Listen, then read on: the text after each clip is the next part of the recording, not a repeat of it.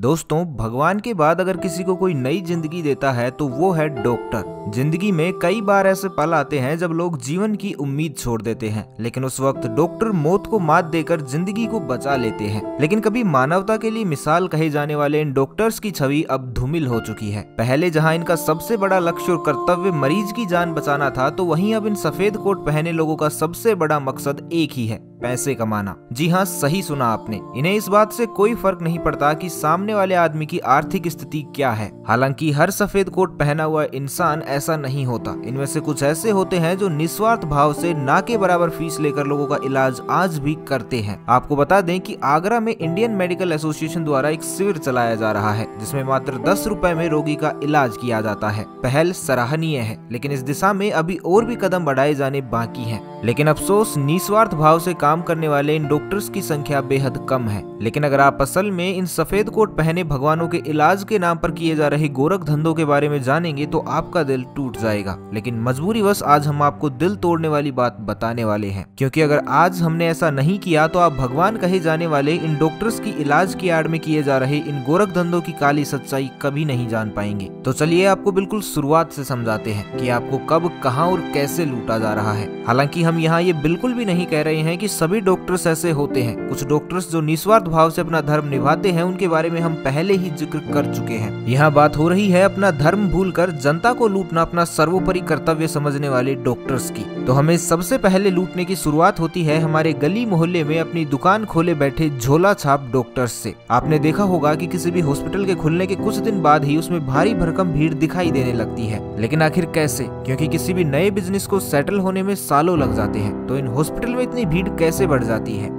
दरअसल इसके पीछे सबसे बड़ा योगदान होता है इन झोला छाप डॉक्टर्स का। ये झोला छाप डॉक्टर्स सर्दी, खांसी, जुकाम का इलाज तो आसानी से कर देते हैं, लेकिन जब इनके पास कोई क्रिटिकल केस आता है तो इनके हाथ पाँव फूलने लगते हैं। और अब ये आपको रेफर कर देते हैं। और रेफर किया जाता है उस हॉस्पिटल में जहाँ से इनको सबसे ज़्यादा कमीशन मिलता है। बेचारे गरीब, लाचार और बेबस आदमी के पास सिवाय इन बड़ी हॉस्पिटल्स में जाने के कोई और चारा बचता ही नहीं है। थोड़ा बारीकी से जरा इस खेल को समझे, क्योंकि आपको लूटने की शुरुआत आपकी गली और मोहल्ले से हो चुकी है। लेकिन ये घिनौना खेल यही खत्म नहीं होता। इलाज की आस में आप भागे भागे इन सुपर स्पेशलिस्ट हॉस्पिटल में पहुँचते हैं। तो यहाँ शुरू होता है हमें कंगाल बनाने का खेल, क्योंकि जैसे ही हम यहाँ पहुँचते हैं तो हमारी दुनिया भर की जांचें लिखी जाती हैं, जैसे blood test sugar test, urine test. इसमें से कुछ जांचें तो ऐसी होती हैं जो असल मायनों में किसी काम की ही नहीं होती। मरीज़ जैसे ही इन पैथोलॉजी लैब्स में जाँच करवाने पहुँचता है तो इन लैब वालों की आँखें चमक उठती हैं। उन्हें लगता है जैसे कोई बकरा उनके पास हलाल होने के लिए आया है, और पैथोलॉजी लैब्स वाले मरीज़ को उनके यहाँ भेजने के लिए डॉक्टर्स को कमीशन देते हैं। मतलब साफ़ है, इस नेटवर्क के तार ऊपर से लेकर नीचे तक सभी जगह एक साथ जुड़े हुए हैं, और खेल अभी रुका नहीं है। इसके बाद नंबर आता है मेडिकल्स का, क्योंकि हमें लूटने में इन मेडिकल्स वालों का भी तो अहम रोल है।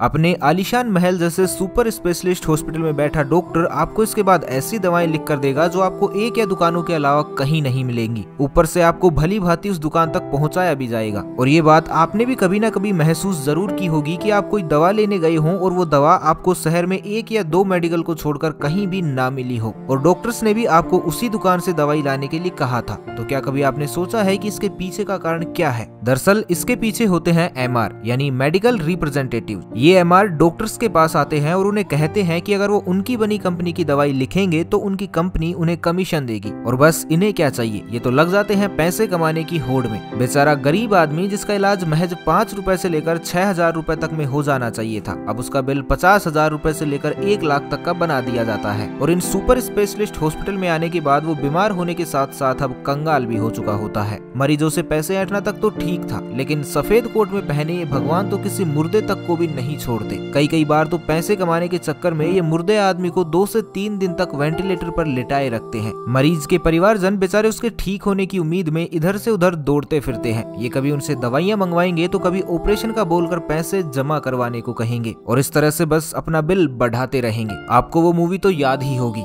Gabbar is back. उसमें जो कहानी बताई गई थी, वो बहुत हद तक आज के हॉस्पिटलों के परिप्रेक्ष्य में सही साबित हो रही है। लेकिन आखिर क्यों चंद पैसों के लालच में ये लोग अपना धर्म भूल जाते हैं? जब भगवान के बराबर दर्जा मिला है तो उसी की तरह निस्वार्थ भाव से सेवा क्यों नहीं करते ये लोग? कोविड महामारी के दौरान तो इन सुपर स्पेशलिस्ट हॉस्पिटल का बुरा हाल था। निसंदेह इन्होंने लोगों की मदद तो की, लेकिन पूरी तरह से पेड़। यानी अगर आप पैसे देंगे तो आपके कोरोना का इलाज होगा, नहीं तो चलते बनिए। गरीब आदमी बेचारा अपने बच्चों को बचाने के लिए अपने घर बार बेच रहा था। लेकिन अपने आप को भगवान के बराबर दर्जा दिलाने वाले इन लोगों का दिल उन्हें देखकर जरा भी नहीं पसीजा। केवल पैसों के लिए जो व्यक्ति कोविड नेगेटिव था, उसे भी पॉजिटिव दिखाकर अच्छे खासे पैसे ऐठे गए। लोगों के एक लाख से लेकर छह छह लाख रुपए तक के बिल बना दिए गए। अब आप ही बताइए, वो गरीब आदमी जिसकी दिहाड़ी सौ रूपए से लेकर तीन सौ रुपए है, वो छह लाख रूपए कहाँ से लाएगा? वो तो पूरी ज़िंदगी मिलकर भी ये छह लाख रूपए नहीं कमा सकता। मरीजों को लूटने का एक घिनौना खेल देश के हर राज्य, हर ज़िले, मोहल्ले और गली में खेला जा रहा है, जहाँ मोहल्ले में बने किसी क्लिनिक के झोला छाप डॉक्टर से आप लूटना शुरू करते हैं और सुपर स्पेशलिस्ट हॉस्पिटल में जाकर कंगाल हो जाते हैं। इस लूट का एक साक्षात प्रमाण आपको हाल ही में भी देखने को मिल रहा होगा। कोरोना की जिस जीवन रक्षक दवाई रेमडेसिविर इंजेक्शन की ओरिजिनल कॉस्ट पाँच हज़ार रूपए है, उसे ब्लैक मार्केटिंग के ज़रिए बीस हज़ार ऐसी लेकर तीस हज़ार रूपए तक बेचा जा रहा है। और हमारे देश में रोज़ाना ऐसे दर्जनों केस सामने आ रहे हैं, जहाँ अपनों की जान बचाने के लिए मजबूर लोग छह ऐसी सात रेमडेसिविर के इंजेक्शन एक लाख ऐसी दो लाख रूपए में खरीद रहे हैं। हाल ही में फरवरी 2020 में लखनऊ के के